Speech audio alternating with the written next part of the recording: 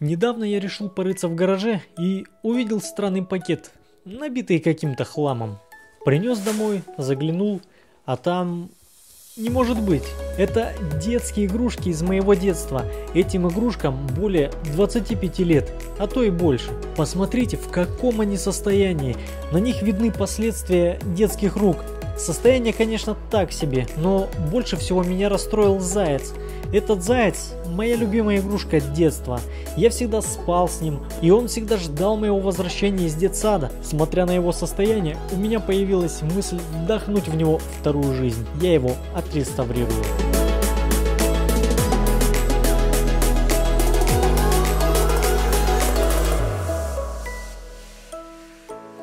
Буйнус диас, друзья, меня зовут Геннадий Сергеев. Ответьте мне на один вопрос. А была ли у вас в детстве любимая игрушка?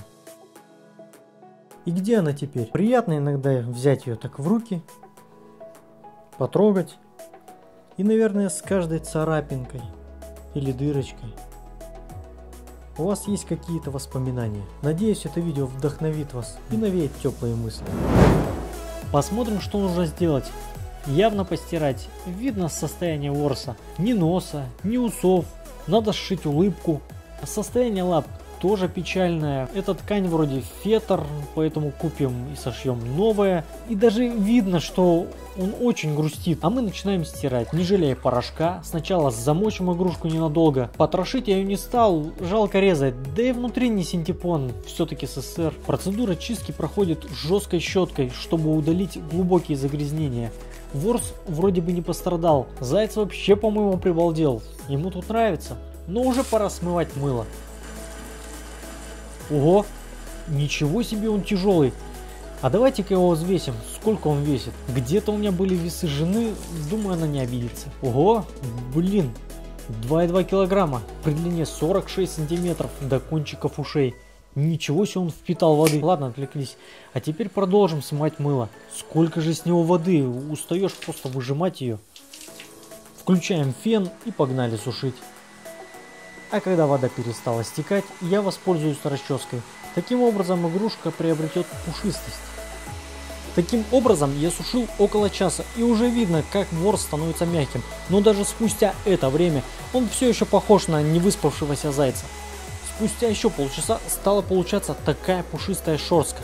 На сегодня хватит. Давайте оставим его на сушилке до утра. Сейчас уже вечер, за ночь вся вода с него окончательно стечет, и думаю утром он будет сухой. На утро он был еще влажный, и мне пришлось ждать вечера, но зато теперь он полностью высох.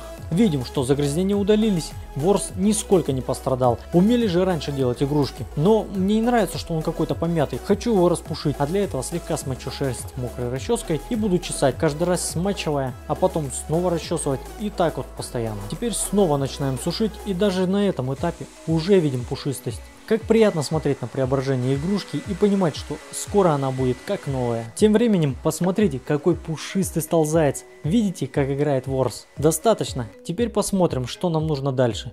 Купить ткань на ноги и сделать полную мордашку. Ладно, отправляемся в магазин. Ходил, значит, по магазинам и знаете, оказывается сложности не составило найти новый нос и материал для усов игрушки. Думал придется чуть ли не пуговицу лепить вместо носа, но с тканью проблем не возникло. Попросил продавщицу отрезать самый минимум. Но вот мы и дома, однако разглядев нос, он был больше похож на собачий, поэтому потом куплю другой. Вот такая проволочная нить для усов, ну и конечно же фетр, как в оригинале. Лекало сделаю прямо с ноги, приложу и обрисую. И должен сказать, получается в принципе неплохо, трудностей не возникло. И посмотрите, как получилось. Почти похоже. Мелкие участки сделаем точно так же. Теперь вырезаем, но немного с запасом. Лучше потом лишнее убрать, но у нас однако все в самый раз. Перенесем контур на ткань и вырежем опять же с запасом. Проверяем. Идеально подходит. Переходим к зеленым. Процедура та же. О, смотрите, очень похоже на морковки но это ноги зайца. Нам осталось лишь пришить все это. Думаю, что сделаем это поверх старого. Ну а теперь долгая процедура пришивания. Шью белыми нитками, потому что именно так они выполнены в оригинале.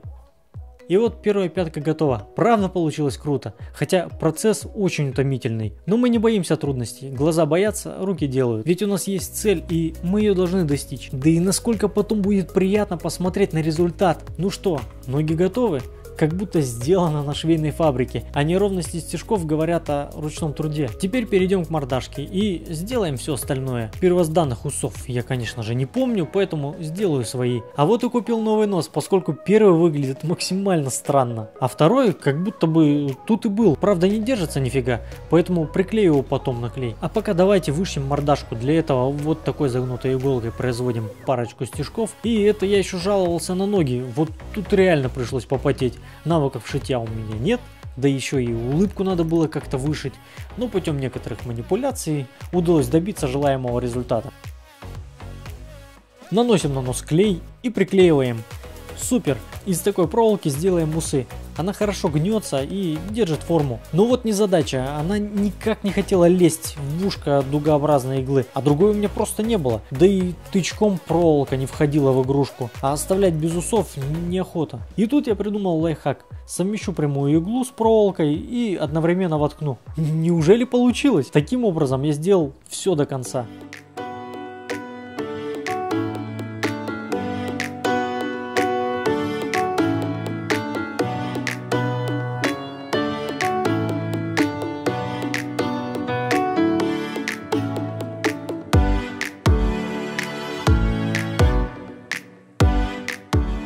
Всегда приятно что-то делать своими руками. И вдвойне приятнее видеть плоды проделанной работы. Реставрируя игрушку, я будто вложил частичку души. Конечно, я не помню его первозданного вида, но уверен, что результат получился достойным. Не бойтесь и вы заниматься подобными вещами. Они очень сильно вдохновляют. Подписывайтесь на канал, комментируйте видео. С вами был Геннадий Сергеев. Адиос.